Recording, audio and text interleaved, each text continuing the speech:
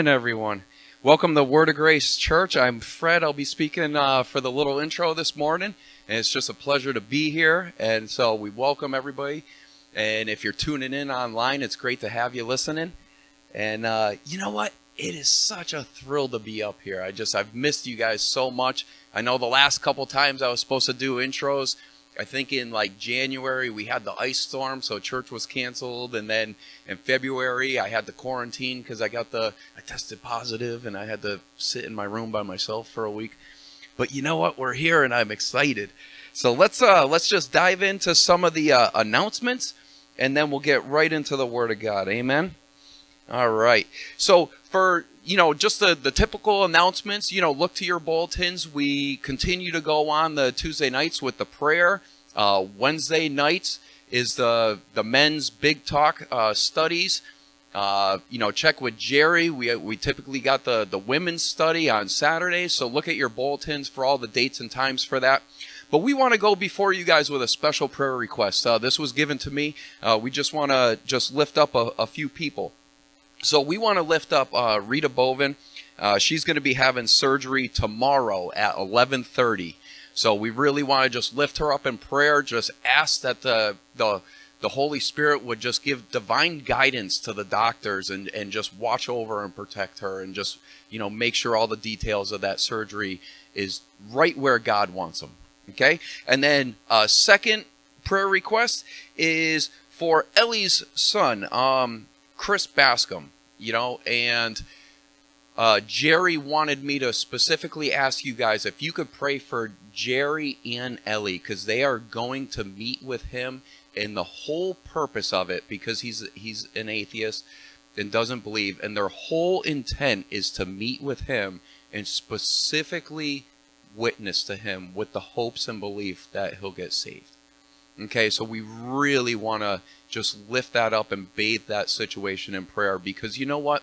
It's God that does the saving, and it's the Holy Spirit that pricks people's hearts. You know, so we just really ask that God would go before that whole situation and just cover it for His will, and that Chris would get saved. Amen. Okay, so let's uh let's just uh I typically don't ever like to start without praying. So if we could just go before God in prayer. Heavenly Father, Lord, we love you. We thank you so much that right now we get to gather before you in peace, Lord.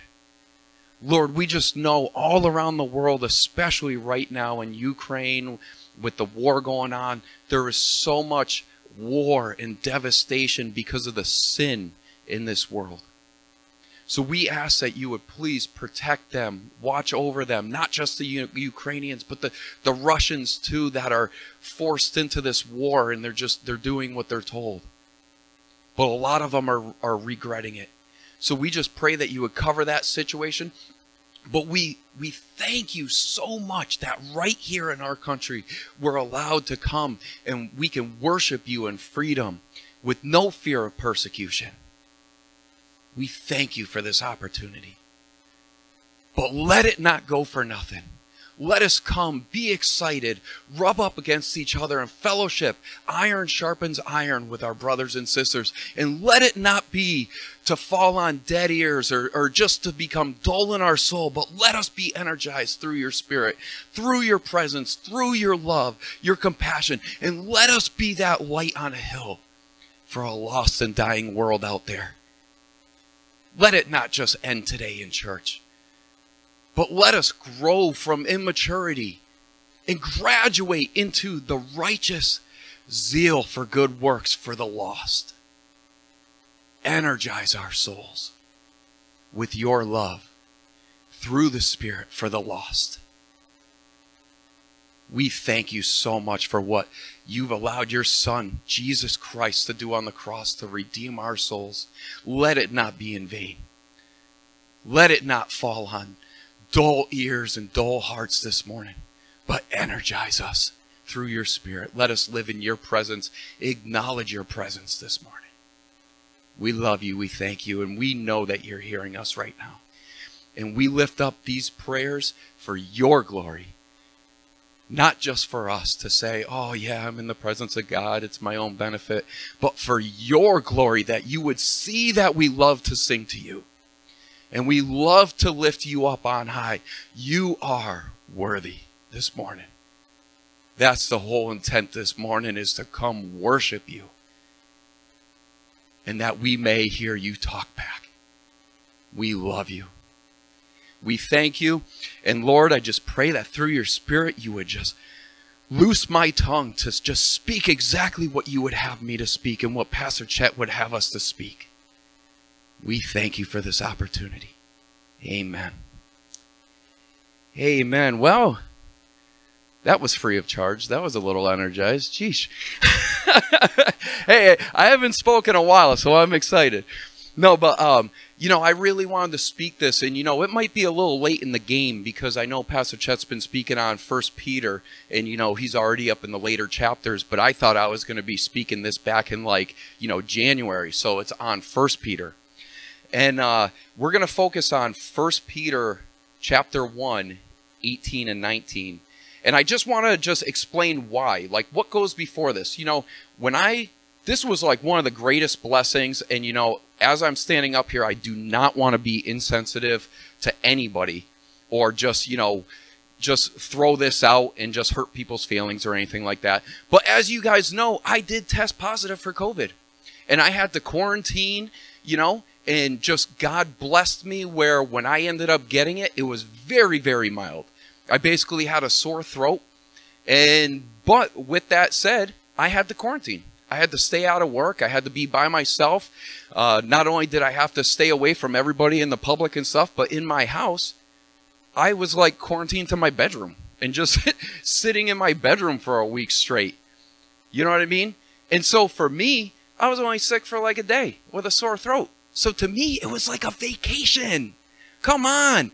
I God took this nasty, nasty curse and turned it into a blessing. I always pray to God, God, give me the time. Help me not to waste my time with, you know, Facebook, this, that, and the other thing, and details of life. Help me, give me time, wisdom to like come before you and make time. And you know what? I think God answered my prayer and said, if you're not going to make time, I'm going to force you to make time.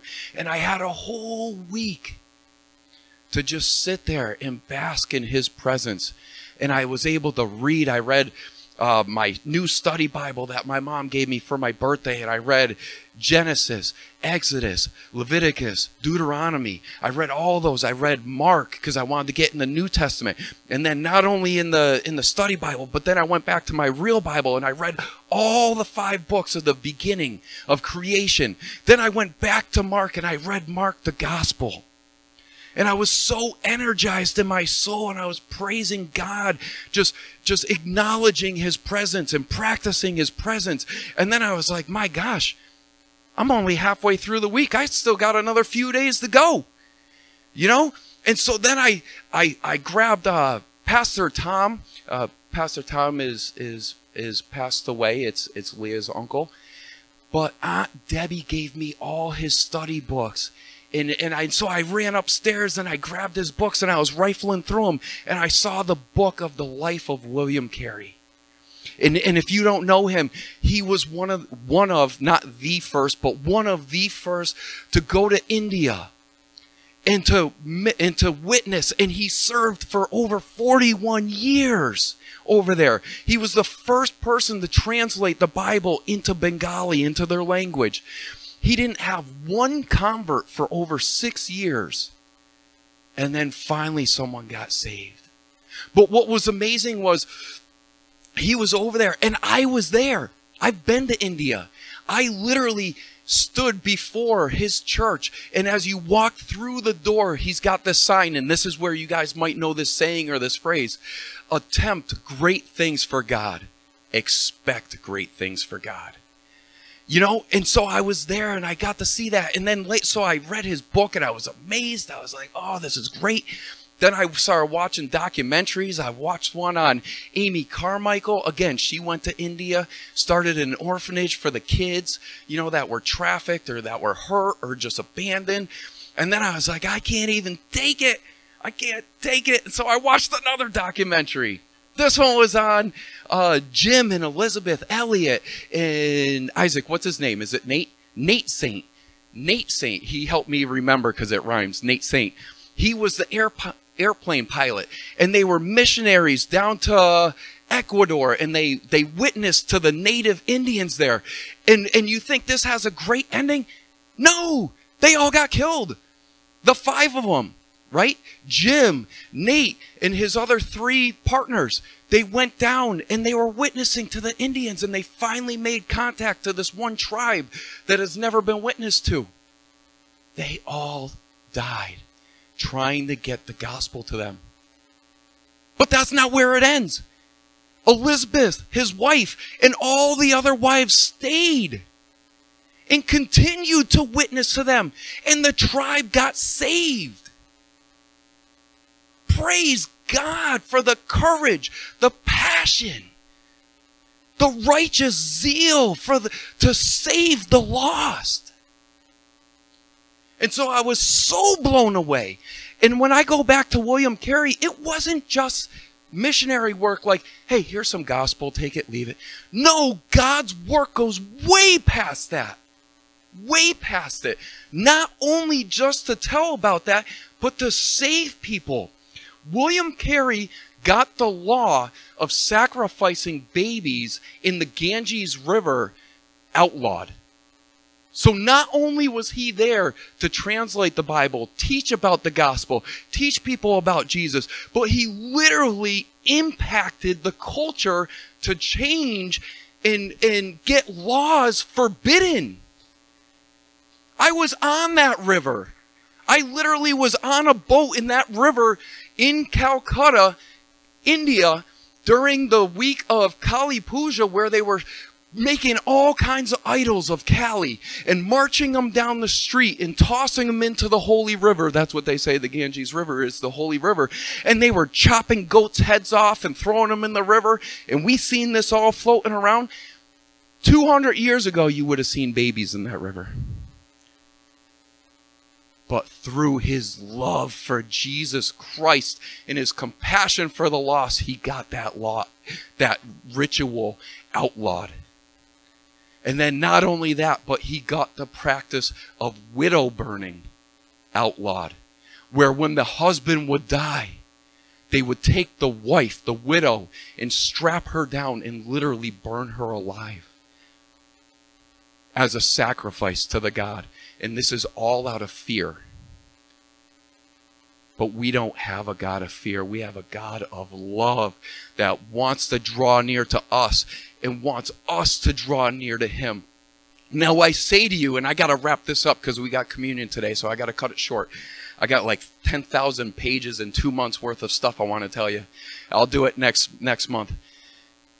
What is the one thing that drives these missionaries and regular people to witness to their community, to witness to their coworkers, to be missionaries, to go across the world and die for your Savior. What is that one thing?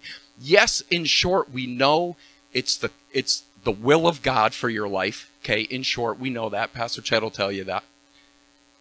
But how do you know this will?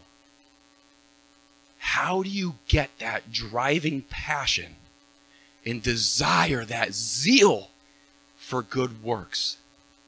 And this is where I want to go to 1 Peter 1:18. In the scripture,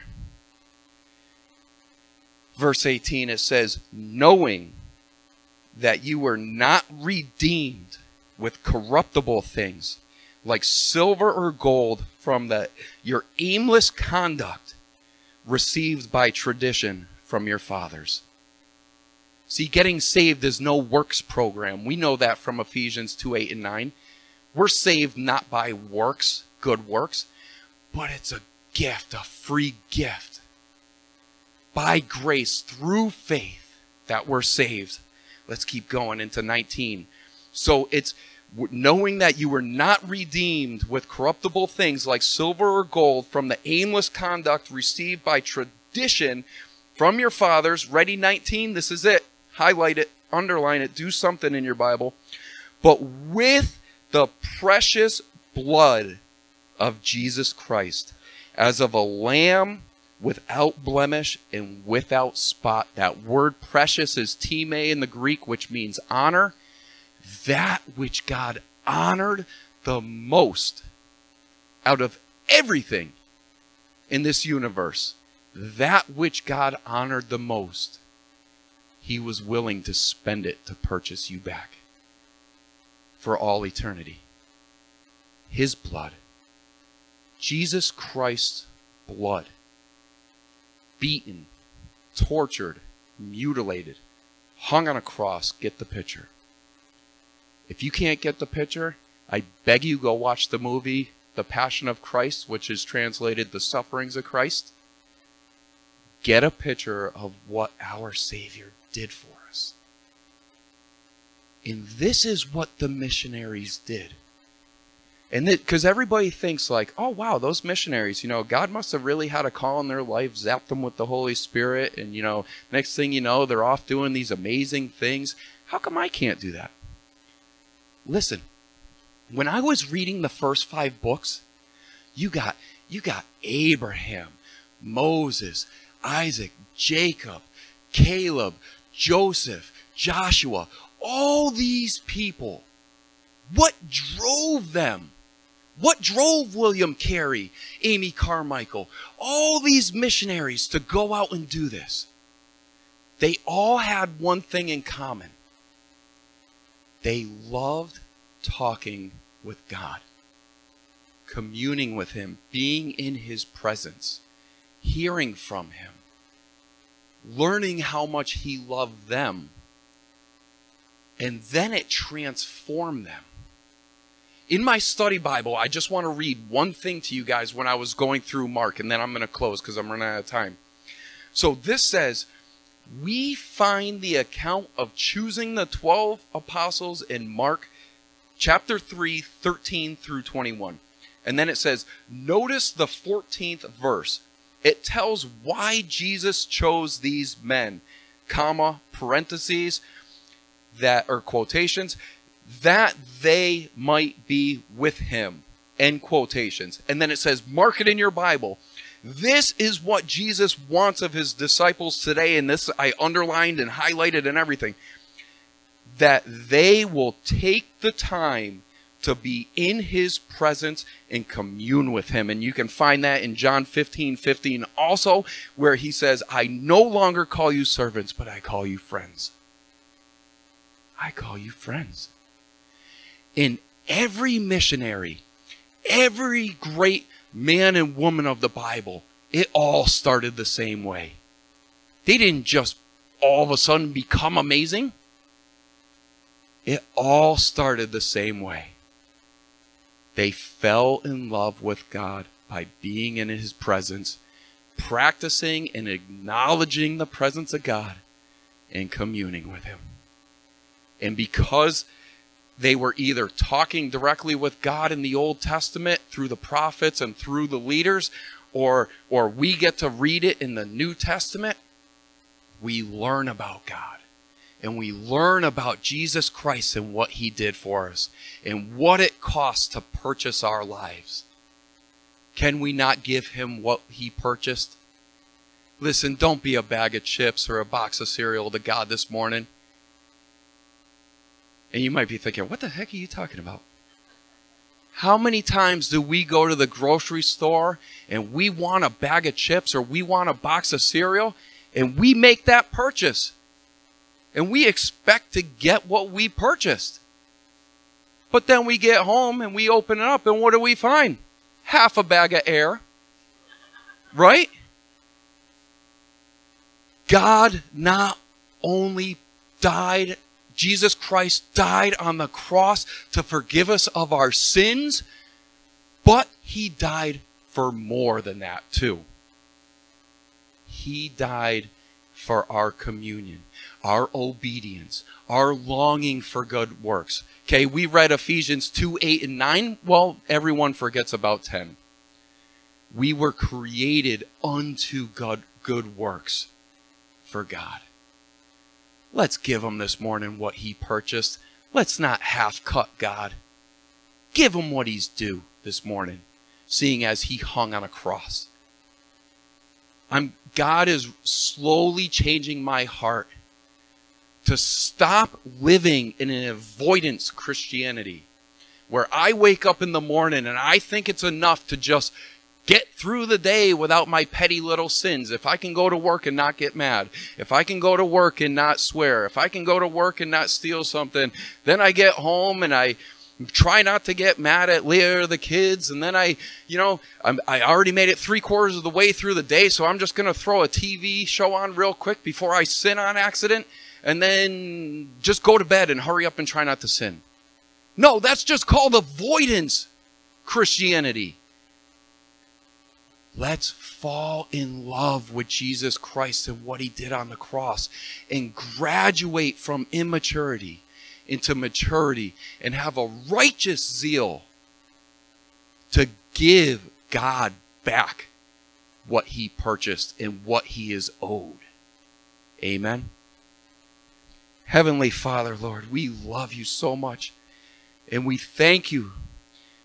We don't ever want to just cease from thanking you or take lightly what you paid to get us back. You paid the precious blood of Jesus Christ on the cross as a ransom, as a sacrifice to redeem us back to you so we could have fellowship with you throughout all eternity. We do not take that lightly. And we prayed just like that first song we sang. Help us to live in your presence, which causes us to be overwhelmed and captivated by you. So that we don't just live in, a, in an avoidance Christianity, but we live a mature Christianity that longs to be holy and live in a righteous zeal for good works for you, that someone else might know you and to be able to experience your love. We thank you. Now, I just ask that you please guide Pastor Chet's tongue and just give him words of fire that would edify, build up, convict, whatever it needs to do to us today to draw us closer to you. We love you and thank you. In the name of your Son, Jesus, we love you so much and we thank you for today. Amen.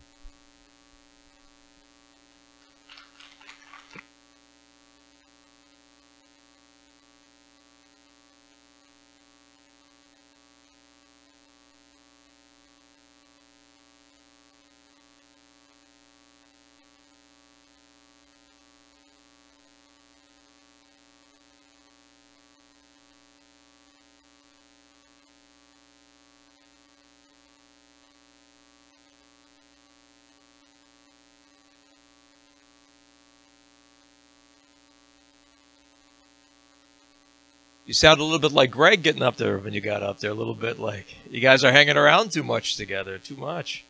Jeez, excited. How can I follow excitement like that? Let's turn to uh, First Peter, uh, and we will finish this last phase of courage, motivation to move, constrained by love, which is the source of all courage, because it casts out all fear. Uh, a couple announcements Fred didn't have. Uh, we're going to take a door offering today, next week. I'm hoping to have a uh, friend, a, a, guy used to be in this church, um, Oleg uh, Usage, uh, come and speak a little bit on Ukraine, uh, do an intro on it, and uh, we'll take a door offering. We're going to add to it as a church. And uh, I still know people in Ukraine, by the way. I know missionaries in Ukraine. Say, how many? Has anybody here been to Ukraine? Yeah, Vinny, you went on that trip, right? We've had people go on mission trips to Ukraine. Kiev, is that where you went? Yeah. We still know people there. So we're going to raise some money, and uh, they are going to go on the 19th. They're going to Ukraine. Uh, Jack Byers, I don't know if any of you remember Jack Byers. He was in this church years ago. Um, and uh, a friend of mine, Joe Holhouse, is going to go. They're going to go to Ukraine. So whatever we raise, they're going to take as a love gift to those that have needs so we don't have to go to a couple different parties. It's going to go direct to the churches that are in Ukraine that we uh, have been part of as a love gift to them to help them through it. So, so be thinking about giving. Uh, I'm not sure we'll take an offering today because of communion and time is short.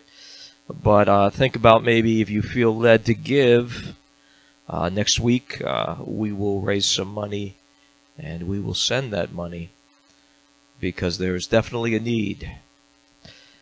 We are in First Peter. Uh, we're finishing. This is the idea of the fruit of courage, abundant fruit that God wants to give. Uh, we need to really go through this quick. I'm going to stay with the text. I really need you to be quickened in the Old Testament, it wasn't filled with the Holy Spirit. It was quicken me according to thy word.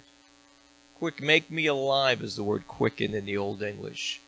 I need to be made alive by the word of God. It is sent to do in Isaiah 55 what it's supposed to do. It will not come back void if you want to hear it. If you ask the Holy Spirit who wrote it, the main author of the 40 authors, he was with every author to inspire them.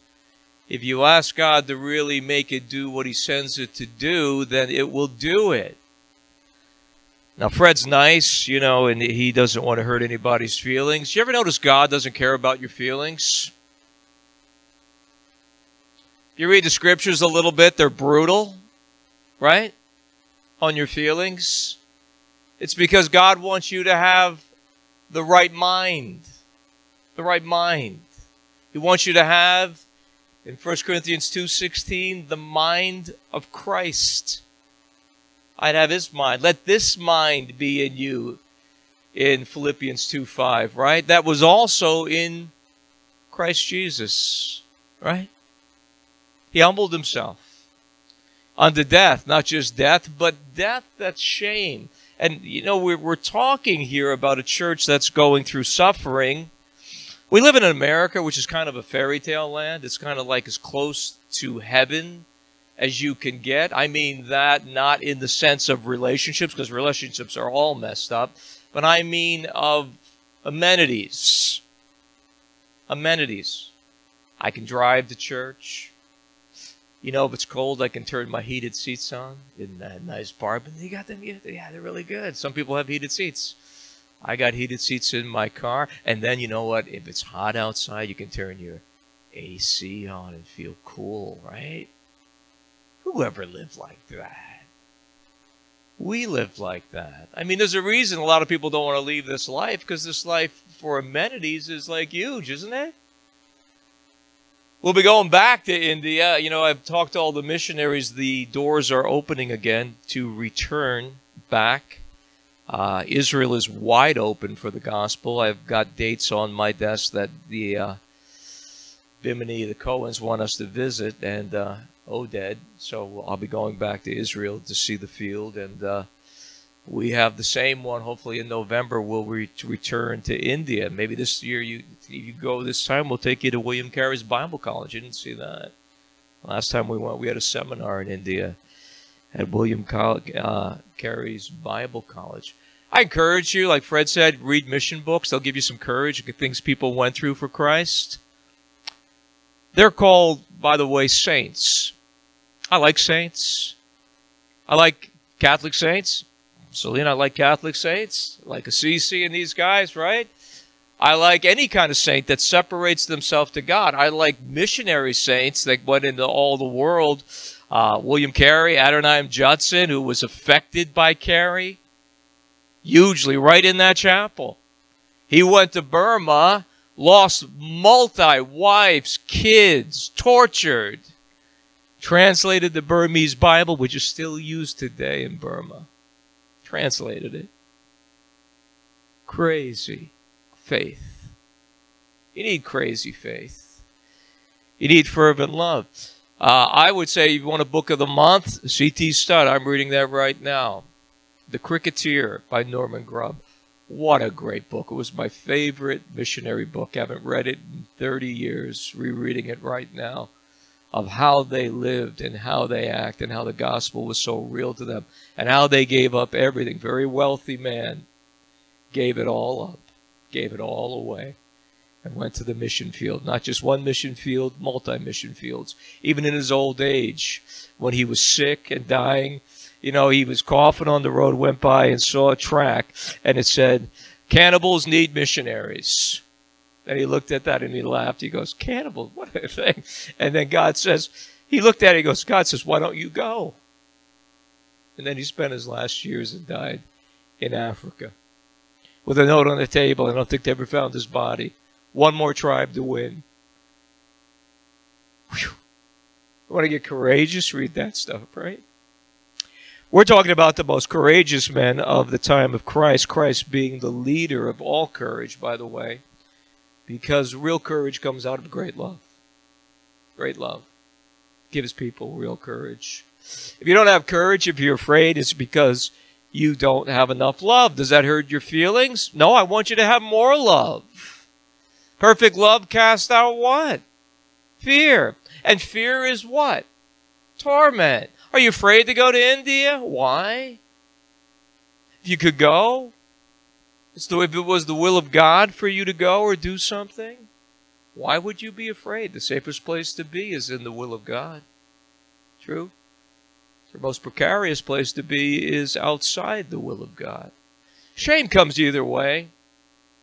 Greatest verse in the greatest theological book. Beware of theology. Love theology, beware of it too. It has a snare to it, huge one, makes people proud.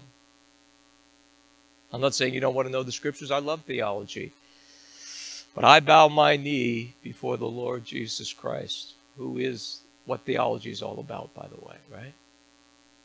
I have to submit myself. I say that because I had a debate. I talked to somebody about theology. They want more theology, and I'm like, as long as you're willing to bow before the God of theology, and as long as you're willing to what?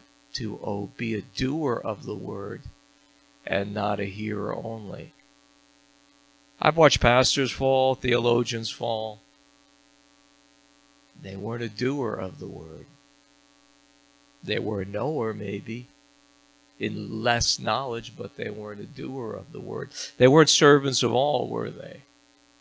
They like to serve themselves, like our politicians, to people. We need to be doers of the word and serve people as we serve God. God needs nothing, but He needs us to serve. Does He not? You are His hands, you are His feet. We'll talk about that in communion. But you are His body. You're His body now. He has two bodies. He has a body He is spiritually in heaven with now, but He has a body here on earth. You are His hands and your feet. We need to serve. 1 Corinthians chapter 4, we're going to go down through here. And this is really, in, in the open Bible, it really has the idea of your submission to suffering, your conduct in suffering. You're going to suffer. You're going to suffer no matter what you do. You can suffer for Christ and suffering for the disciple, for the one who wants to really know God, has tremendous glory to it. There's a reason for it. The highest glory is if you suffer with him, you'll also reign with him, right? You're going to go through suffering. You live in a cursed world. This whole world is about suffering, as the Hindus say. Now, you can go through it for glory, or you can go through it for what? Shame. I mean, chastisement, all suffering looks like a form of shame, doesn't it? I mean, if you're sick, you don't want to tell anybody because you know what? I don't want people to know I'm sick, you know. I mean, you look at Job in the pit, it's kind of shameful. This guy was like the greatest man. God showed him off, by the way, in suffering, didn't he? I mean, it was for Job's glory. God says, Have you seen him? He's amazing. Now let's put it to the test. Let's get a contrast to how amazing he is. Can he deal with suffering and pain? And yet Job did. And Job, though not perfect, which none of us are, blessed God in the middle of his suffering, didn't he? Blessed be the name of the Lord. The Lord gives and the Lord takes away. Blessed be the name of the Lord. You deserve the suffering. That's the big thing because we're all sinners. We're all in rebellion against God. You've all sinned and fallen way short. It's the mercy of God. He comes to you at all. It's His goodness that comes to you, not ours. Therefore, He is precious. Who not seeing, Peter says, we what? We love. I got to dig roots in that. I got to know that 26 times in the, in the book of Ephesians, I am in Him. In, in, in. Down, root, root, root, in the ground. In love. I'm rooted and grounded in what? Love. Then I got to do what? I've got to learn of Him. Come learn of me. There are all present and future imperatives. They're not asked of you. If you're a Christian, God doesn't care about your feeling because you're bought with a price. You're not your own. You're His. And so when He tells you to do something, He expects you to do it, doesn't He? The greatest grief of a pastor, and I'll get into this, is when you preach and you want to talk about heartbreak and nobody does anything. And that's not my heartbreak. That's greater to God. Imagine God speaks through His Word and through the pulpit, which is where you come for a love feast, not a service. This isn't service. We need to change our words. This is really a love feast. You come to hear the love of God, you come to hear God's love for people, and you listen, and then you should submit under. You should humble yourself under it, shouldn't you? To obey. But this is service. This isn't service. You should want to come here, not, I have to go to church today. It's Sunday. Oh, man, it's a nice day. I have to go. You should say, I willingly, I want to go. I want to give the doxology. Peter has two doxologies from here to the end where he, he has theology. He's writing about, talk about, he's writing theology, by the way. He's not reading it, he's writing it. And in the middle of his theology, he breaks out in a doxology of praise. Oh, glory be to God. It's amazing as he's facing suffering. Do you read the Bible like that? Oh, glory be to God. He breaks out in two. I hope we might break out in one. But he commands in suffering, here is the title. And he starts out, Peter, and this is uh, really, if we did Revelation, you see that they're going into one of the historical accounts of the end times. This suffering period that they're about to go through, many people in the historical realm, when they when they want to allegorize Revelation, say, this already happened. Peter says right here, but the end of all things is at hand. Therefore, be serious and watchful in your prayers. Now, this is a type, and this was a great persecution of the early church, but the end is still not yet, has it? Is it? The end of all things is not at hand in this time period. The end of all things and the end times really begin at the leaving and the ascension of the Lord Jesus Christ till now. That's the whole period of time till right now is considered the end times. We're in the end times. The church has been bought by the blood from his side. We follow him because of his outrageous love. And then he says this, and I want you to really get this. Above all things, have fervent love. Isn't that good? How many want to live in fervent love? Man, there is no, listen, being in I am still in love with my life fervently. My wife, my life, my wife. My life too with my wife. I love her fervently. I practice it every day. I want to be fervently in love. Why would I not want to be fervently in love? Every day. If you don't love your spouse like that, get right with God. You, by the way, you're commanded to love one another, especially your wife. There'd be no divorces if people loved each other fervently. True? The greatest sin in Revelation is they lost their fervency, their first love. True? That's a whole church that knew theology very well. And yet they lost their first love.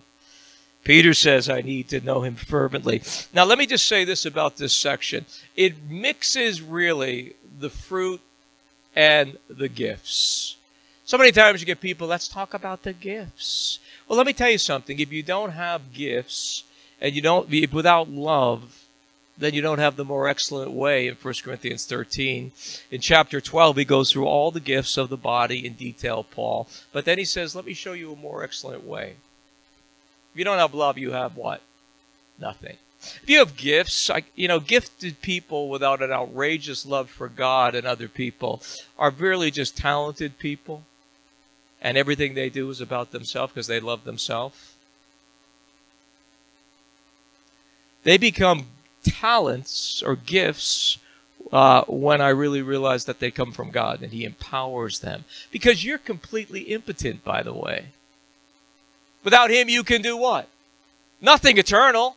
Even if you manage to do something, make money, big, big deal, you end up in the, in the Ecclesiastes nightmares. I'm going to die and everything I have is going to waste. I'm going to give all that I have. Solomon gave everything he had to an idiot, his son,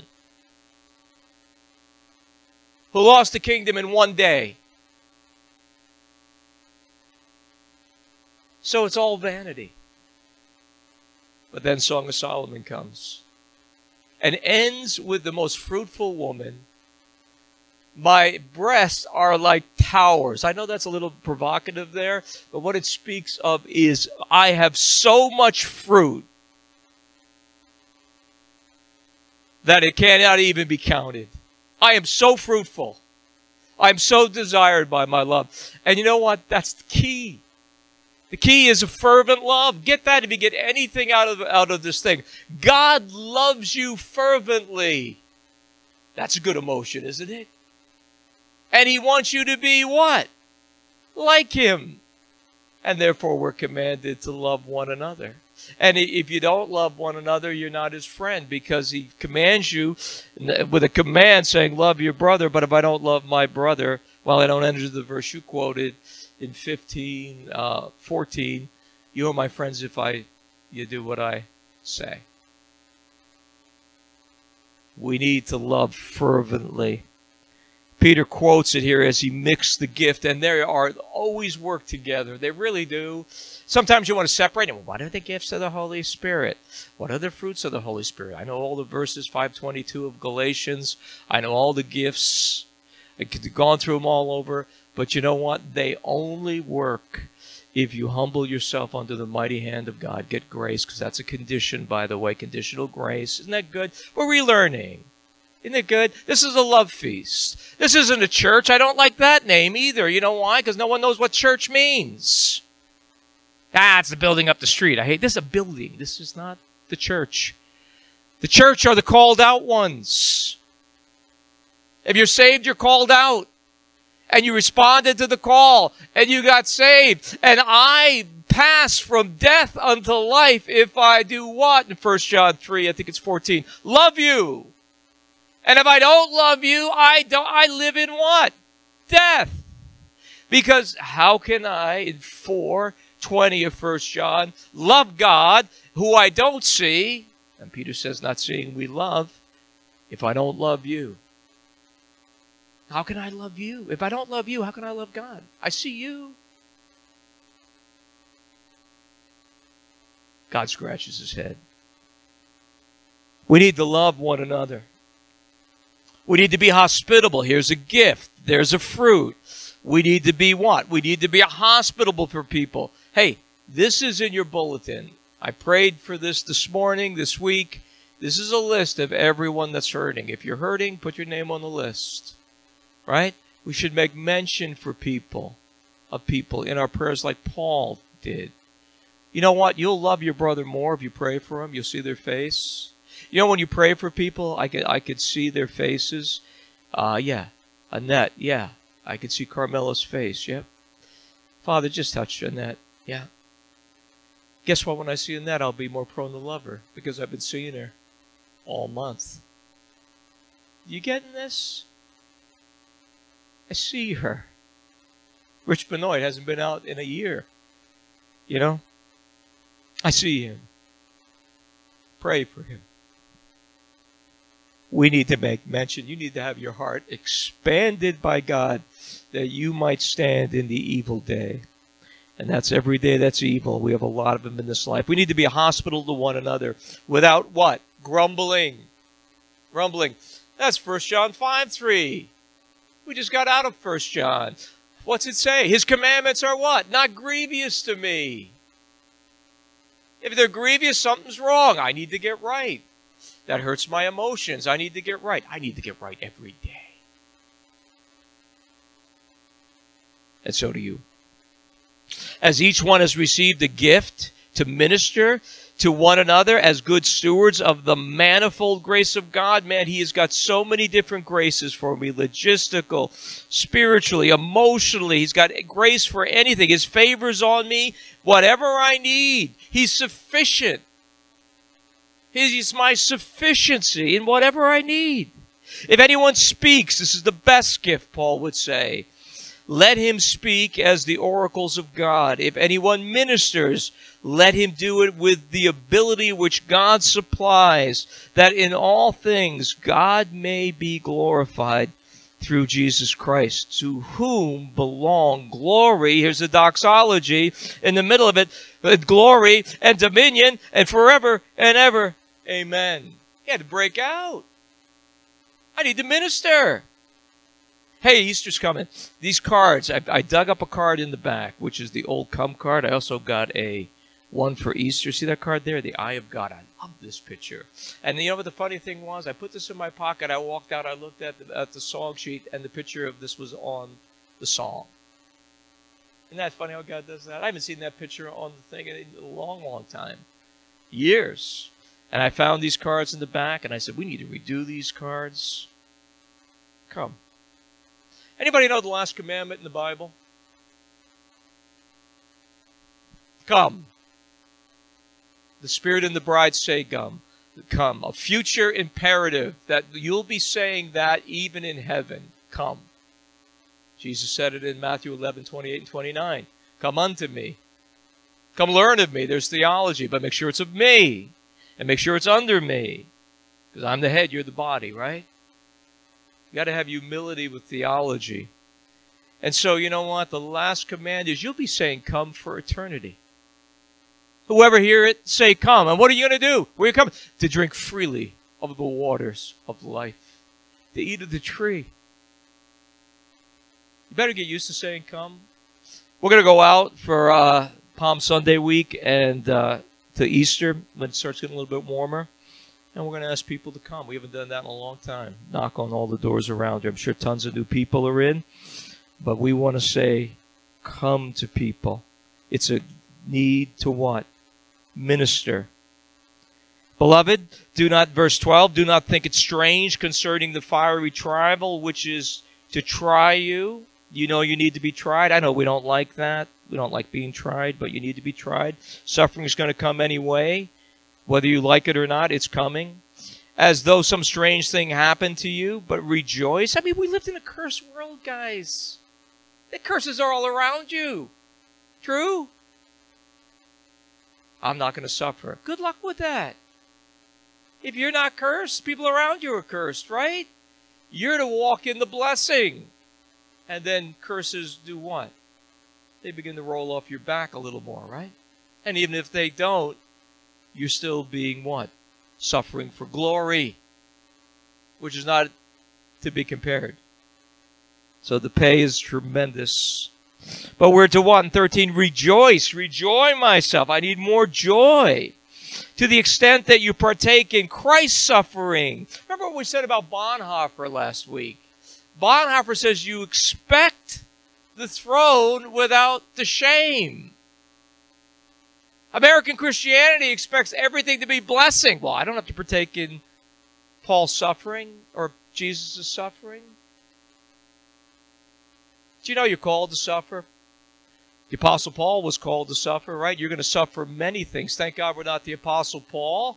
But you know what? We're going to suffer. Whether we like it or not. Isn't that awful against your emotions? So if I can't get away from it, I might as well what? Suffer for glory. Suffer for Him. Listen, a lot of you could be sick, and I have no idea. I don't play voodoo who's sick and not sick. But you know what? Many of you, God will chastise in suffering. He does two things. If He chastises you, listen, when you get a spanking, it's kind of shameful. Anybody ever got spanked when they were a kid? The old ones really did. You younger ones maybe not. But back then, they, they definitely spoiled the rod. Right? And spared the child. Today, that's horrible. It did me a world of good. I can tell you that. Every time I got spanked, I, I look back as a thankful memory that my father loved me enough to what? Discipline me. Because I deserve far worse. True? Most men love that stuff, by the way. But you know what? I can do what? I can see that, you know what? I need, if I get chastened and I know I'm off with God, then I should be like, Thank you, Jesus. I bear the shame, I repent, and now let me walk with you. Oh, God wouldn't chasten you, really? Everyone he loves, he chastens. No one spanks like God. I think that's why I have no backside, because it's gone. I don't know about you, but God chastens for your good too, right? That you come out of yourself. Come out of yourself. You're not so amazing. Humble yourself. Do my will. You're made to do my will. You're made for what? Good works. Don't do it grudgingly, he goes on to say here. Don't do it that. It's glory. The Spirit of God, 14. Reproach you for the name of Christ. Blessed are you, the Spirit of glory, and God rest on you. On their part, he is blasphemed, but on your part, he is glorified. But let none of you suffer as a murderer. And this is when we backslide. A murderer, a thief. Well, I'm not that. An evildoer. How about a busybody? Dun, dun, dun, dun. Well, you know, Well, you know. Well, you know. We need to watch our tongues. It's a fire, right? And the minute you do that, you become a judge. You put yourself not under people. You don't submit to people. Where the Bible's going to go on here and say, submit to one another. You put yourself as a judge over people. Why can't they be like me? God forbid. If you want to be like me, be like me if I follow Christ. Amen? Because I want to be like Christ. If you see Christ, follow it. If you don't, then run. Christ. Be very careful about your tongue. The judgment might come right back on you. God hates that stuff. Why don't you do this? When you want to judge somebody, do this. Make a habit. It's good to get godly habits. Pray. Pray that they won't be like you. They'll be like Christ, right? True? We're not called to judge people. Or you will be judged, as the scriptures say. So we're not to suffer as a what gosper, slanderer, busybody, the forms of murder in other people's matters. Let them stand before God like you. Yet if anyone suffers as a Christian, let him not be ashamed. And therefore in Romans the greatest verse is what? I am not ashamed of the gospel of Jesus Christ, because it's the power of God in 116 to those who what? Who believe, to salvation. So I do it to the Jew, to everybody around me. I'm going to bring it to anybody, Paul says.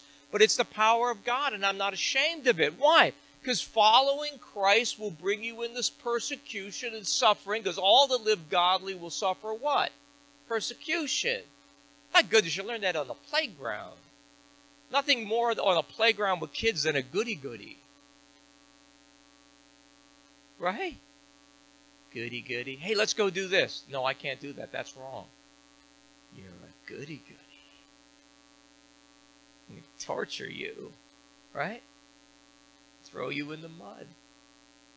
I remember drag. I told the story again. One of my favorite stories of my cousins. We used to go get. We used to go to church and get in trouble. And you know what? We didn't want to go to church. We were kids. We wanted to play in the park in the mud and do all kinds of stuff like that and get in trouble and crazy even at this age. That's how sinners we were. And we were all in our Easter suits and we went. This is our Easter message here in our Easter suits. And we were doing some kind of trouble. And we jumped in the mud in our Easter suits, me and my cousin. We didn't care. We hated these things. We hated suits. So we're in the mud, two little boys. And my other cousin goes, No, I'm not going to get in the mud. No, I'm going to get in trouble. I'm not going to do that. Well, we proceeded to get out of there and drag him through the mud. drag him through the mud. Right, Izzy? There you go. And you know what? So we all went home in our suits, mud up to our eyeballs. And they wanted to discipline them, but they, our aunt, my mother and my aunts just started laughing because we were a mess. But no, nobody likes a goody goody. No one wants to be around somebody that lives for Christ that has convictions. You're going to automatically lose your friends. Have you suffered the loss of all things, like Paul said?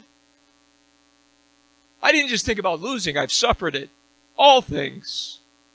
Lost all my friends. Maybe my family hates me. For Christ. Outrageous, fervent love that he gives to me and out of me. Paul did that. So if you want to be with Christ, his friend, you're going to suffer. They were he suffered shame. You're going to have it. But the time has come, and this is where you really need to think your Christianity because you just think you're a Christian. Really, are you? Do you really know you're a Christian? Are you going after God? Do you love Him? You want to learn theology, but you want to learn it because you want to know Him, not because you want to be brilliant? Listen, knowledge puffs up, but love edifies. 1 Corinthians 8 1. True? Now, always remember, knowledge puffs up. Should we get knowledge? Yeah. Unless you want to live in your emotions all day long, which lead you astray 90% of the time. I don't feel like it. Really? Kick yourself. As Oswald Chambers says, kick your mood out of you. Get an attitude that's right with God. Your will be done on earth as it is in heaven. You don't feel like it. Great. There's your feelings leading you astray from God. For the time has come, the judgment begin where? Oh, God, it's going to start out there. No, it's going to start in here. Read Hebrews chapter 6. This is about maturity. Fruit comes from maturity. Fruit comes when you're mature. I, you know, I've read all the church growth plans, and you know, all the well, we got to get this, and you can go online and buy this church growth plan and this and that. Hogwash. There's only one church growth plan. That's the Bible. And the Bible wants me to love fervently. That's the book of Acts, chapter 2. And when they loved one another fervently and they had all things in common, guess what? God added to them those that would be saved. Because their lives were so amazing and so loving and so obedient to God that God just fertilized that whole church. Within 35 years, that church collapsed, by the way. The devil's right there, isn't he? And that's what he says here when he goes on. If the righteous, verse 18, now, now, right now, guys, present tense. That's what now means, now. Is this you? You guys really are, are really like locked in, you're saved, right? Oh, yeah, I'm saved. If the righteous one is scarcely saved, where will the ungodly and the sinner appear? Do you know if you don't mature, a fiery fire waits for you of God's wrath because you wasted. You could have matured, but you said, I don't need to because I know that God's love is unconditional. And I don't need to do a damn thing. Maybe you damn yourself with that word. I don't need to go on an outreach. I don't need to learn the Bible. I don't need, I don't need, because God's love's unconditional. Trinitarian, Unitarian, believe in everything. Everyone's going to save. That's not the Bible. The Bible is God wants fruit. And the husbandman waits in 2 Peter for the precious fruit of the earth. He waits for you, but doesn't wait forever. He wants you to grow. And he wants you to go. And he wants you to not fear. And he wants you to have the fruit of the Holy Spirit dwelling. And he wants the gifts to function as he gives it to you that this church might be built up. But this is a service. I come to service. I want Sunday to church. God, me just start giving you heaven's applauding right now that you came out on such a rainy day. And I thank you for coming. I really do. But do you realize all our lives God speaks into them and we do nothing? And what God finally imagine having anything job like that. Well, I worked all day and I, you know, I ministered and what did what happened? Nothing. Is there any fruit from your work? Did you get a paycheck? No. Nothing. They just looked at me. Okay. Do you think God has a right to be a little uh, mad at the church? You think it's our fault that the church is the way it is today? We live in the most unchurched area in the whole country, maybe the whole world, that has this professes Christianity. But in the country here, how do you see that? Blend into the woodwork or a tremendous opportunity in the middle of darkness? Do you know when the Great Awakening started? It was one of the darkest times in American Christianity. Light always shines brighter in the darkness, right? Do you know God needs you? Yeah, He made it that way in a relationship with you. Therefore, 19, those that suffer according to the will of God. This is why you want to say, you're going to suffer. Do you suffer according to the will of God? Maybe God would keep you healthy if you suffered according to the will of God. We're going to do communion. Why are people hurting? Many of you do not discern the body of Christ, what the body's supposed to do. You don't discern your function in the kingdom of God. Therefore, many of you sleep. Translation in the Greek, dead.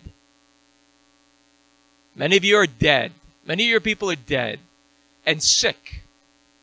That's called chastisement, by the way. Because you don't discern your role that God died for you to have for glory. He calls you to glory. Do you believe that today? The elders who are among you I exhort, who am also a fellow elder. He was given the commission in John 21 to feed the flock, so this goes back to that. And a witness of the sufferings of Christ, and also a partaker of the glory that shall be revealed. He tells me, shepherd the flock of God, which is among you, serving as overseers, not by compulsion, not forced, but willingly. Not for dishonest gain, but eagerly. The pulpit has been destroyed in this country by people that have done it for what? Gain. In some way, shape, or form. This goes both ways from the people in the pulpit to the people in the seats which are used. Nor as being lords over, the, over those entrusted to you, but being examples of the flock. And when the chief shepherd appears, you will receive the crown of glory that does not fade away. I'm hoping, looking forward to that. Whether I get that or not, that's God's to give. But I want to be someone that feeds, and I want to be somebody that serves, and I want to speak the truth to you in love that we're called to glory, a doxology. Saints need to do what? Submit. Likewise, you younger people. He picks on younger people because they're the most unbroken in life. Older people are a little bit softer because they've been through life. Young people people don't want to yield to anything. They have their own free will. That's why we have churches with young people and we have churches with old people. Isn't that great? You're all people, young, old, in between. God wants churches to be together in all generations, by the way. That's what God rejoices in. But we don't live in that age. Younger people don't submit yourself to the elders. Do you know you have to submit to me? God said so. And then boo boo. I'm not submitting to anybody. Do exactly what you want to do. Do whatever you want. If I'm serving, if I'm living the life, you know what? I'm far from perfect. But let me tell you something. I love God. I love my wife. I love you guys. And I don't water down the truth to you and preach you a fairy tale of happy, happy, happy. No. Glory suffering, joy unspeakable, full of glory, hope, which we're saved by, by the way. Then you need to submit. That's a bad word today. You don't submit to nobody. Good luck with that. Maybe that's the way why you're the way you are. We live in an age of pride. I can do whatever I want when I want to do. You can also do whatever you want. God bless you. But he won't. You walk right back into the curse.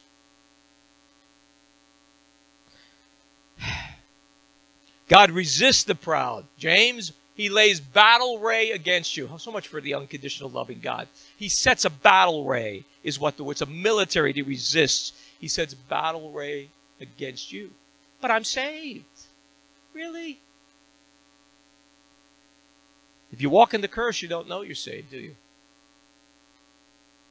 You may be. You may be not. If and or but. Flip a coin. Maybe you never got saved. I don't know. I know. How do I know I'm saved? I love him. I'm looking at him. Every day I bow the knee. Every day I pick up my cross. You know one of the things we need to kneel more? You know we don't kneel anymore? I can't get down. Let me help you. Hold on. I'm going to do it. I'm going to get down there. Maybe I need a a high low to pick me up. And some of you can't bow, I know, but you know what? We need to bow the knee. Do you know how you pick up your cross? I did this this morning because I, I had the thought the other day. I go, I need to bow the knee. You know why? Because you can't pick up a cross unless you bow the knee. Can you? Maybe you could, Fred, but we can't. It's shoulder underneath it, right? I got my cross. It's your cross, by the way. There's worse suffering. It could have been you on the cross. Do you know the Romans killed thousands as a backdrop to the cross? Thousands, which we'll be preaching on. Line the roads, line the walls. For disobedience to Rome. What do you think disobedience to the King of Kings and, and, the glory and the Lord of Lords and the kingdom of God should be? No big deal. A Roman Empire which was brutal, but a kingdom of God that is perfect and died for you that you wouldn't be what? Lost for eternity. I think we owe God all the glory. He is the sheep shepherd. We resist it. And he gives grace to the humble. You understand what you get when you submit? You get grace to the humble. If you can't, okay, if you can't submit to the word of God preached and the people, oh, it's just Pastor Chet. He's always like that. Really? That's the Bible.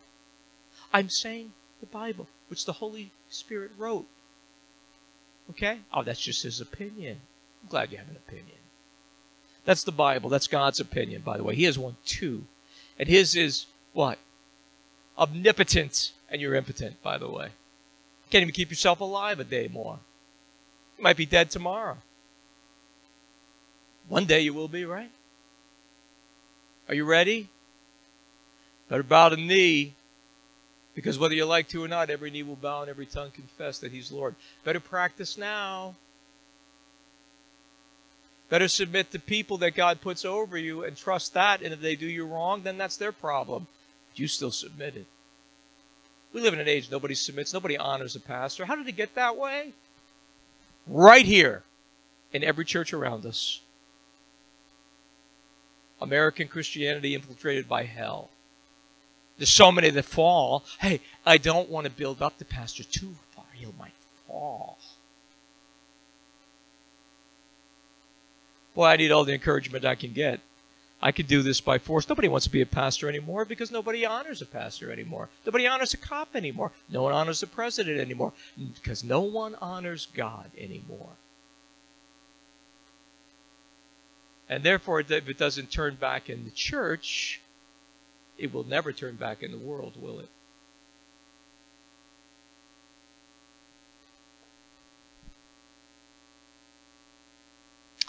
I've learned to take cursing or blessing either way. It's a small thing, like Paul said, that you judge me. It's God that judges me. And so he judges you too, right? Therefore, humble yourself under the mighty hand of God, that he may exalt you in due time, casting your cares upon you, for he cares for you. I'm going to close with this an, altitude, an attitude for altitude, or an altitude for attitude. Four, five attitudes he gives. I'm going to give them real quick to you. Number one, he wants you to submit. He wants you to have an attitude of what? Submission because you have your, your affection seated above. You have an altitude. This is where Colossians 3 talks about set your heart on things above, where Christ, your life is hid with Christ, right? Let me get the verse right. Set your affections on things above, where your life is hid in Christ in God. Okay? I got to have an altitude to submit. I'm not submitting to anybody unless God tells me and I've got an attitude because I have an altitude. My head's in heaven. The Bible says I'm seated there in Ephesians 2 6. I can submit to anybody. It doesn't take away from who I am because I'm seated in heaven. I'm a son of God. I can submit.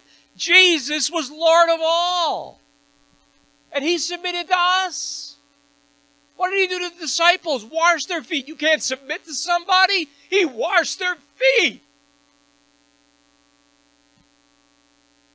You call me Lord, Lord, he said, and so I am.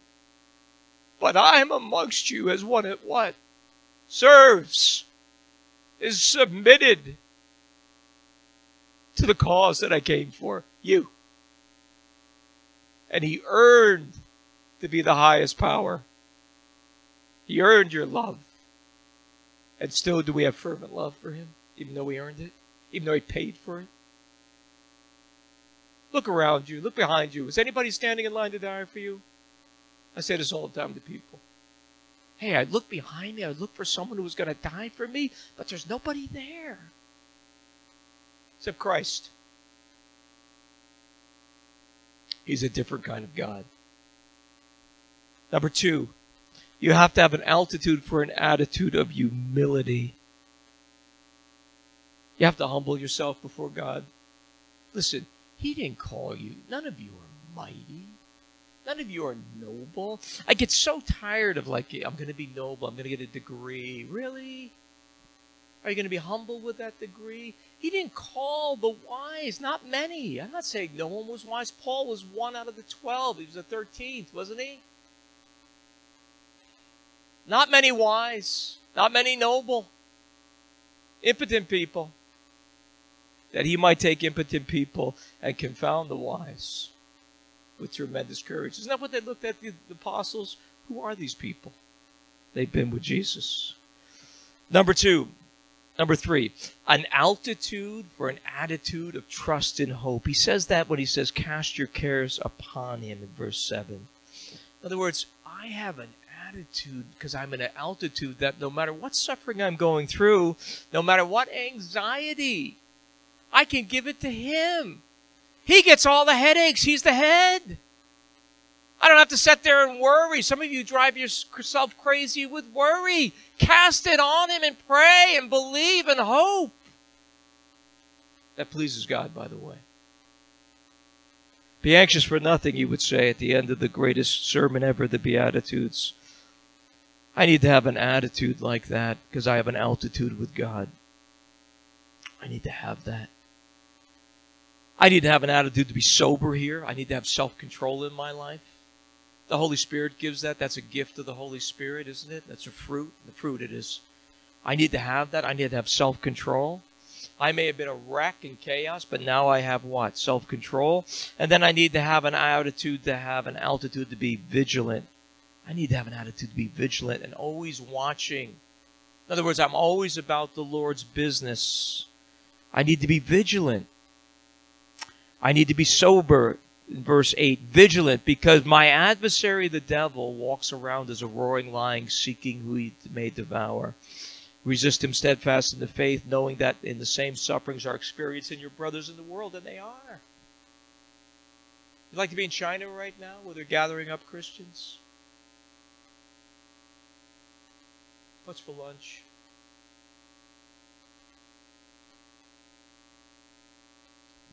Yeah. sad. It's pitiful. But we need to go forward and we need to be vigilant and know our brothers are. But may the grace of God, verse 10, who called you into his eternal glory by Jesus Christ after you have suffered a while, perfect you, establish and strengthen you, and settle you. Then a doxology. To him be the glory and dominion forever and ever. Amen. Worship do you know if you're humble, you worship? If you're not humble, you don't worship? Do you know that? Do you worship? I had a great morning with worship, music, worship. Loved it as I was reading and studying. Worship. The humble do what? Worship. They listen to Christian music because they can worship. I'm not saying you never listen to secular music, but most of it you can't. But I need to be someone who what? worships. Why? Because that makes me beautiful. And you know what happens when I'm beautiful? This is why this is this is the, my church growth plan that you would be beautiful. Isn't that good? And there's my phone telling me we have communion. Is that an usher? God wants me to be beautiful. Why? What happens with the beauty of it? What hap- when the flower is beautiful and the sap flows, what happens? The birds, the bees come, don't they? And what do they do? they pollinate the flower so it might bring the seed or the fruit, don't they? See, when you're beautiful, when a church is beautiful like this, in submission, what happens? Then the Holy Spirit comes. Who wins people to Christ? You? All you do is say, Come. Come. Come. I got a small part. Hey, come to Jesus. Who saves? Who seals? When you're beautiful, the Holy Spirit will what? Pollinate the fruit around you, and what will happen? People will get saved. The people would want to be near you. Why? Because people like the beautiful people. And God has a plan to make you beautiful, but that's His plan. And guess what? He's going to use suffering to do it. Because that is the scrub, scrub here, scrub, scrub there of God for the tin man. And then you'll see much fruit, right? And He'll prune you to get more fruit. But hallelujah, the glory. Ushers come forth with communion. Know we're late.